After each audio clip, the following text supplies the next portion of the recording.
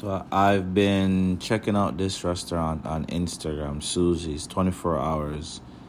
It's in um, up in Constant Spring area there, or the Half Way Tree area, close to where the um, what is that called? I forget what that hardware is called. Across on the Burger King in Half Way Tree there. Literally, it's like across the street on Central Avenue. I forgot what that plaza is called, Vision or something like that. But yeah, Susie's. Um, I've been meaning to check it out. You know, seeing the IG it looks nice, and there's not a lot of twenty four hour um, food spots in Jamaica in the city because you know, um, unfortunately, things close really earlier by like nine, ten o'clock everything is closed food wise. So you'd have to buy food on the street, you know, like the people them that sell the chicken and and those things, chicken jerk, chicken, all of that. Yeah, this place, this place is good. This lady was nice. Um, she advised me I should come a little early. I have more option. I'm gonna let you know the food is expensive. Um, I got the pasta Chicken Alfredo was really good. Um, it was a good serving. And also some mashed potato and some um, honey roasted chicken. Something like that was on the receipt. Um, I was gonna try the ribs. They had ribs, oxtail, fish. The the veggies side was really good. Um, I was tired of chicken, so I didn't try any chicken and it, everything honestly everything tastes good. It was my first time. Like i said i would definitely go back and i like that it's 24 hours. Not to say i'm i'm recommending you should go eat at nighttime but i'm here in jamaica. I haven't really had a, a good meal since i've been here. You know there's just been pure dry food because i've been busy. And i don't know nowadays some of these people they don't really cook on sundays anymore. It's not like in my experience back in the day when you know Sunday you're gonna get a good meal, like I don't even know. To me, people don't even take pride in their cooking anymore, not as much as they used to. Because I'm getting food. I've tried food from some people that kill them dead they can cook. And to me, the food was just average. Like the way they were building up themselves, I was expecting more. I think I built up my expectation too high. So since I've been on the island, I haven't really had a good meal. You know, and I'm not even fussy too. Like I've had some rice and pumpkin with some sausage, and it tastes good to me. Or you know, uh, my mom used to sometimes at nighttime she'd come upstairs, she'd rig up something simple, and it'll just taste so amazing. You know, like when you can cook, anything tastes good anything you do, if you put some dumpling with butter, it's gonna taste good. Or some rice, you know, some white rice with some nice, well seasoned ackee.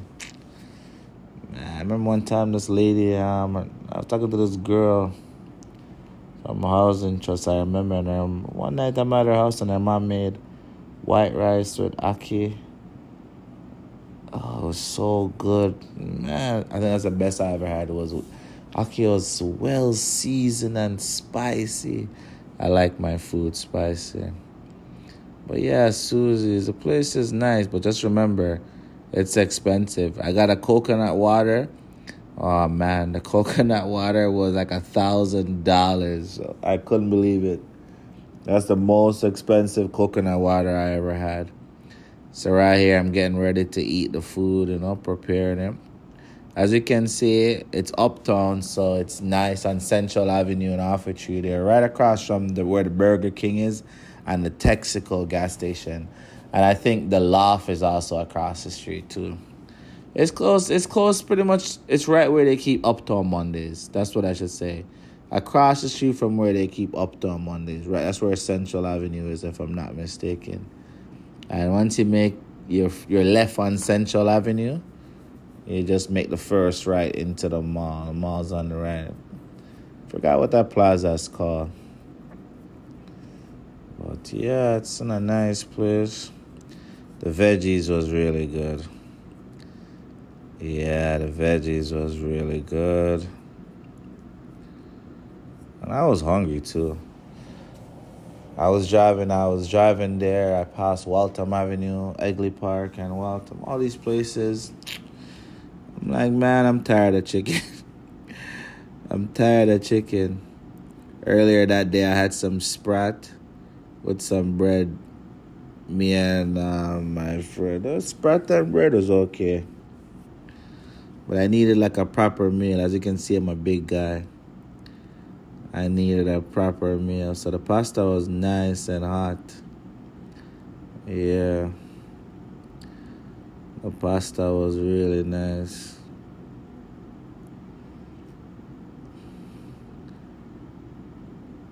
It's just kind of raw. Uh, there's no editing, so I apologize to you guys if you guys want it to be perfect. I wish I could have put it so it's it's facing the food more, but this is the best I can do. So that's why I, I pick up the food to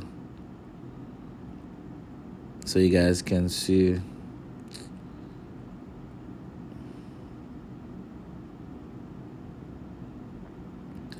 Yeah, watch my face.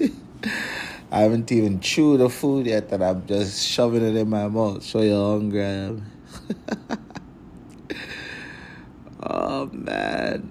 People chew your food before you swallow. You'll thank me later. So don't be like me. Chew your food. Yeah, that tasted really good. The veggies on the side, the um, steamed veg.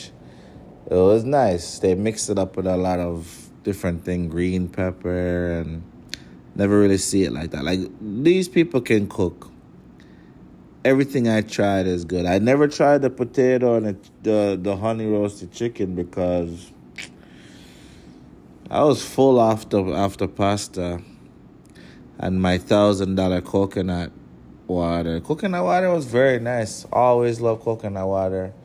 It's great for you, but thousand dollars too much.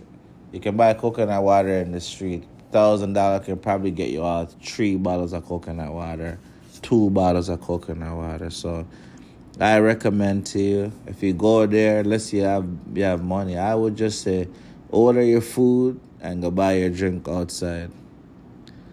Yeah, thousand dollar for a bottle of coconut water, that's too much, man. Yeah, see, Revital. Thousand dollars is too much. And it doesn't even have the, the jelly inside, you know? Sometimes you can buy the coconut water with the jelly wouldn't it be so bad if it had that? Yeah.